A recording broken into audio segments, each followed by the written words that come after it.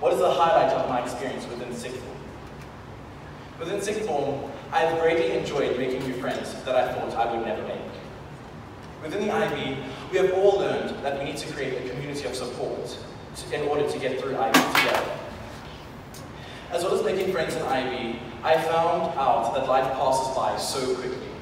It seemed as though yesterday I'd started my first lesson in Year 12. The most eventful project would have had to be the planning and the event of some form. Being able to run an event that was successful was extremely satisfying and rewarding.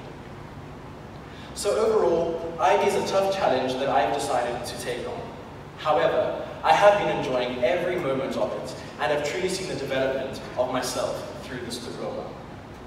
I wish all the students the best of luck with the options between A-Level and IB and cross fingers that it is, in, the fa in fact, the right choice.